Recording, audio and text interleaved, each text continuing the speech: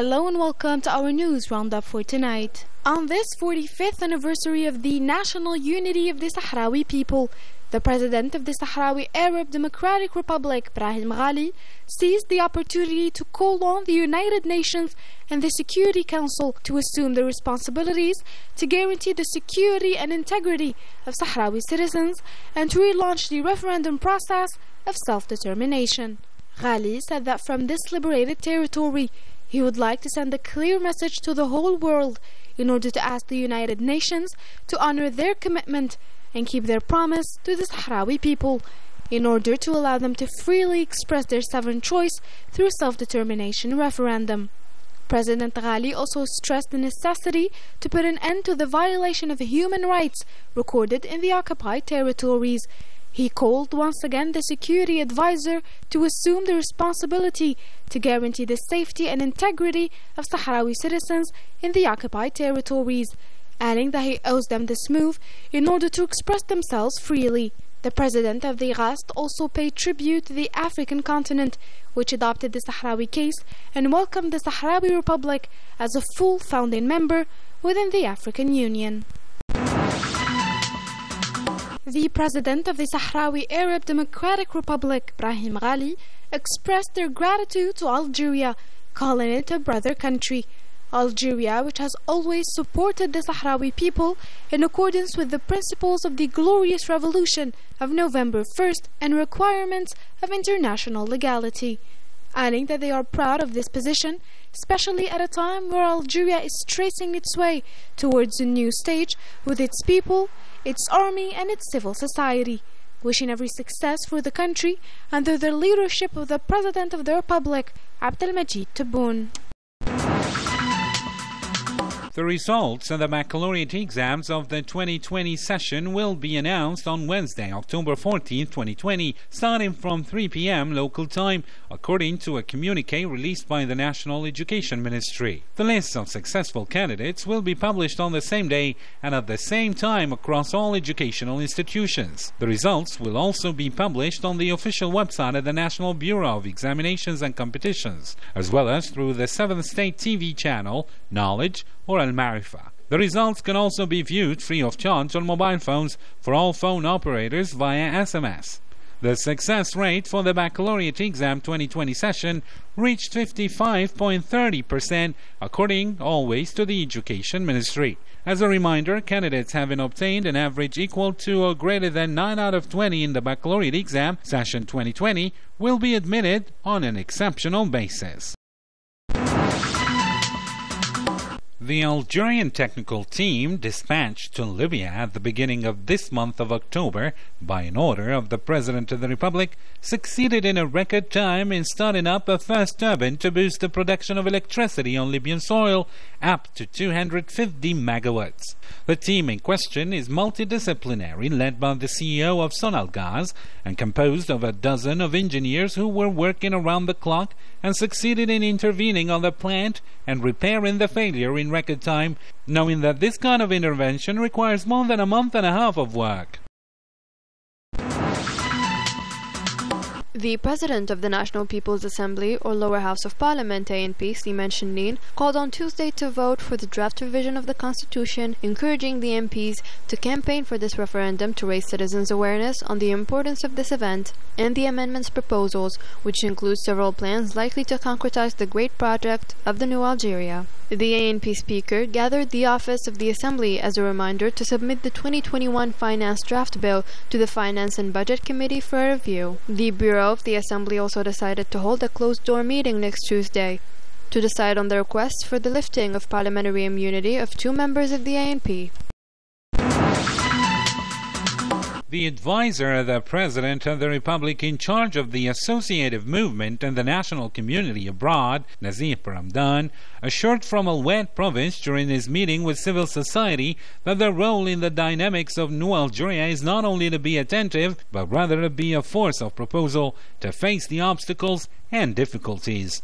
Nazih Berramdane announced the development of a program aimed at encouraging the spirit of solidarity and volunteering within the society. He indicated in this context that the amendment of the Constitution contains evidence of a sincere intention of partnership with civil society. He stressed that this move denounced the strong political will of the country's top leader. Through first, this commitment, which is none other than a deep reform of the Constitution to put it at the service of the citizen and the country, and to lay the foundation for a new Algeria. He added that among Algeria's commitments, the integration of civil society and its involvement in decision making. He argued that this project would bring together all the actors and eliminate all the red tape practices and involve all actors in decision making at the local level. For their part, the participants expressed their many concerns, and among the proposals, the inclusion of neighborhood committees in examining housing application files and signaling necessary public works at the local level. It's worth recalling that civil associations contain researchers, academics, among other competencies that Algeria needs to benefit from to build a new republic. Civil society actors from the province of Ghardaïa organized a meeting in which they highlighted the importance of the referendum of November 1st, calling on the people to participate massively in this important event. For his part, the commander of the Muslim Scot Abdurrahman Hamzawi said from the province of Mostaganem that the referendum of November 1st is a continuity of the Hirak or popular protest movement, adding that the creation of the National Civil Society Observatory included in the constitutional revision project will help organize associative action.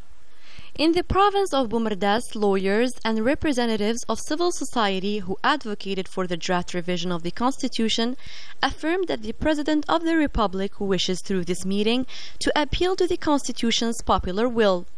Tahir Shiha, the president of the National Confederation of Civil Society in the province of Tebessa, showed his support for the draft revision of the constitution.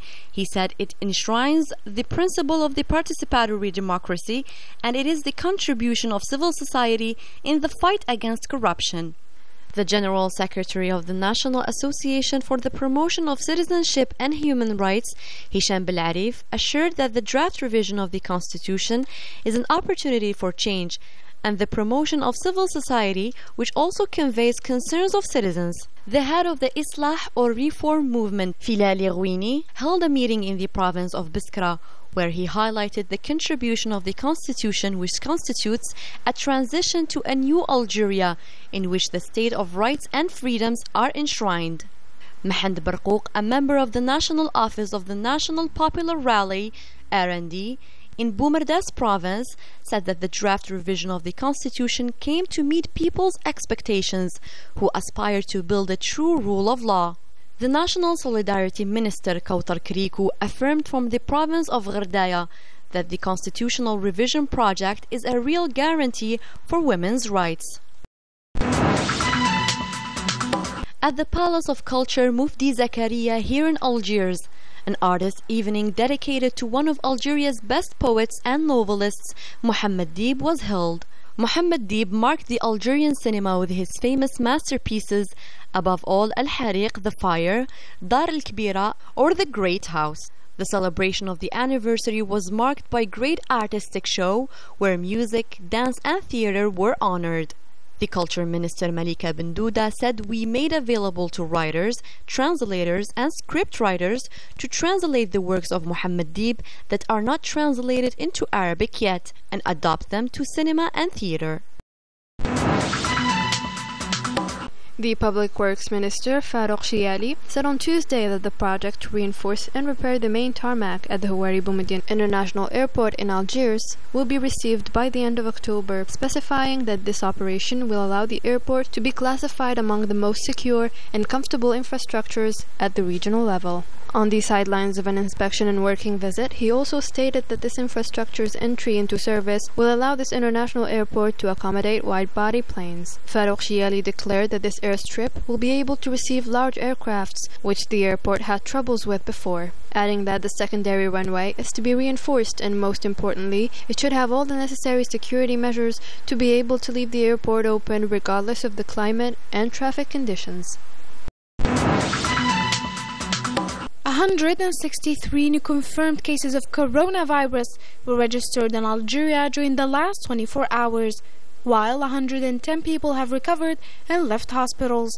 Nine new deaths were also recorded, according to the spokesman of the National Commission in charge of monitoring the evolution of the coronavirus pandemic, Professor Jamal Fourar, in his daily briefing. The national football team confirmed its good return to competition with a 2-all draw with the Mexican squad in a friendly game held in the Netherlands city, The Hague. That's it for our news roundup.